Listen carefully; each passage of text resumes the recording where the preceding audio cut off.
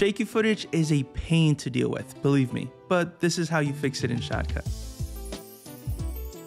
Now to fix your shaky footage, we'll be using the stabilize filter. First things first, we have to open up Shotcut and make sure you have the latest version because for some reason, some versions of Shotcut do not have this filter. So double check to make sure. After that, make sure you have your GPU processing disabled. All you need to do is go to the top of the bar, go to settings and make sure that this GPU effects option for my Mac users or GPU processing option for my Windows users is unticked and disabled. And the reason that we do this is because if this GPU setting is enabled, the stabilize filter will not show up for you. So make sure it's disabled. Now that we got that out of the way, you can now import your footage and set it on the timeline. From there, identify where the shakiness begins and split it from the rest of the clip. By splitting the footage and only isolating the shaky portion, you will significantly cut down the analyzing time that this filter will take. Now, if your whole video has some shakiness and unstableness, well, I guess you just have to deal with the longer processing and analyzing time. Next is applying the actual filter.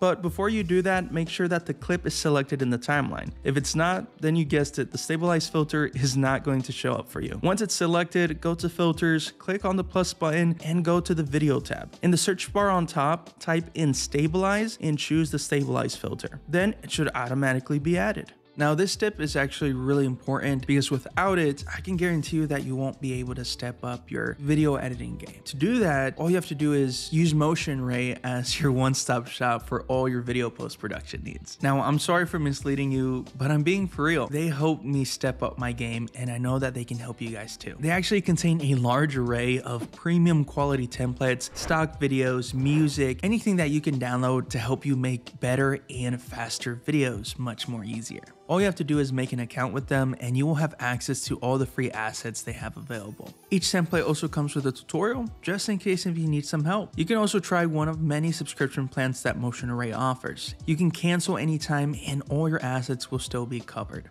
So if you want to try it out, you can use my link in the description and try it out for free. But if you decide to register for any type of subscription, you'll be making yourself a favor and you'll be helping out the channel. So thank you. Now you can see all the settings for the stabilize filter.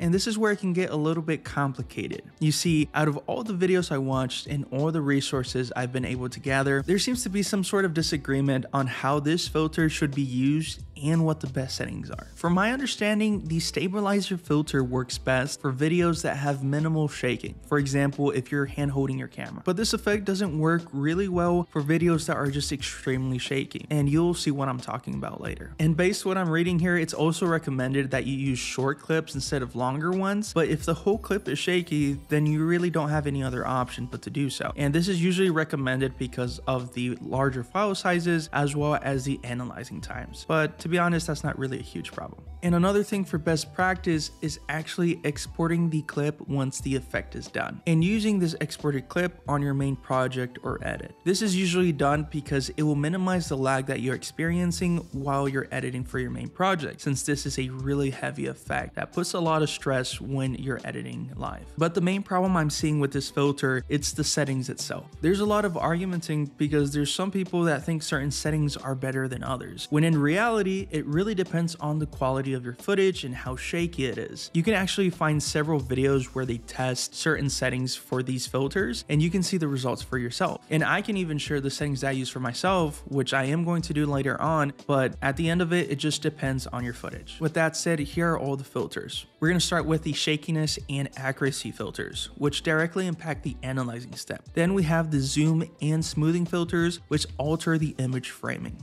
Now you want to use the shakiness filter when of course there's some subtle shaking in the video obviously. And the accuracy filter just really determines the main point of reference when it's analyzing. The zoom filter is exactly what you think it is. Sometimes the framing of the video is completely out of place due to how much the video is altered when you start analyzing to a point where zooming in can actually help you. Now the smoothing filter refers to the moving of the frames allowed from the center to stabilize the video. And basically what that means is that this filter blends and modifies the frames in order to create that stabilizing effect. Now this this is just a quick explanation, but actually all the credit goes to this user I found on the Shotcut forums that does an amazing job explaining their findings after they did some testing, stuff that would take me forever to do. So I will link the post down below and all credit goes to this person. And all that's left for me is to test each one of these settings to see which one gives me the best result on stabilizing my footage.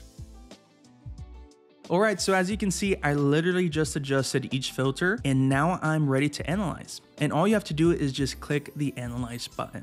For my Windows users, a window should then appear asking where you want to keep the analysis file and you can save it wherever. Then the jobs window should appear for everyone and start analyzing the video. Once it's done, we can press play and view it. Now, if you want a before and after, you can disable the effect by going to the filter window and unticking this box near the stabilize filter, and it should revert back to its original state, and you can compare a before and after. By the way, if the footage is super shaky, I'm sorry. I'm gonna try to stabilize it in the edit. Now, if you're happy with the result, you can export it and now it's ready to be used in your main project. But if you're not really happy with it, you can adjust the settings until you like it. And it's as simple as that. The most complicated part is actually finding the right settings, but after that is just smooth sailing. Now, if you want to learn how to motion track objects in Shotcut, I have the video just for you. Thanks for watching and I'll see you in the next one.